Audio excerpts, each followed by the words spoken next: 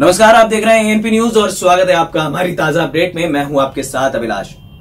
IPL season 13 के आज के मुकाबले में आरसीबी और चेन्नई सुपर किंग्स पहले डबल हेडर में आमने सामने होंगे। इस मुकाबले के लिए यहाँ पर एम एस धोनी और उनकी फौज पूरे तरीके से तैयार नज़र आ रही है। तीन बड़े खिलाड़ियों का आज के मुकाबले में कम हो सकता है। एक खिलाड़ी जिसको मौका मिलना लगभग जिसका डेब्यू हम कह सकते हैं, और बाकी दो खिलाड़ियों को मौका मिलना तय माना जा रहा है। Lungi Ngidi in place of George Hazlewood आ सकते हैं, और मिचल सैंटनर को इन प्लेस ऑफ़ हो सकता है कि इमरान ताहिर खिलाया जा सकता है आज के मुकाबले में।